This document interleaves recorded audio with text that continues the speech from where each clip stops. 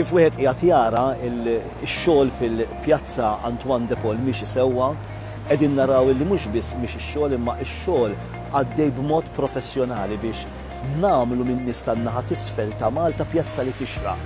In-nies tan-naħa tisfel ta' Malta jixirqilhom proġett bħal dana. Ninsabu lejn l-aħħar xhur biex intemmu dan il-proġett. Dan mhuwiex biss il-proġett tal-pjazza, imma huwa proġett tal-pjazza, il-proġett tal-Green Corridor, il-proġett ta' Ġnien il-Mediterran, biex minn dan il-proġett nagħmlu il-proġett tan-nies.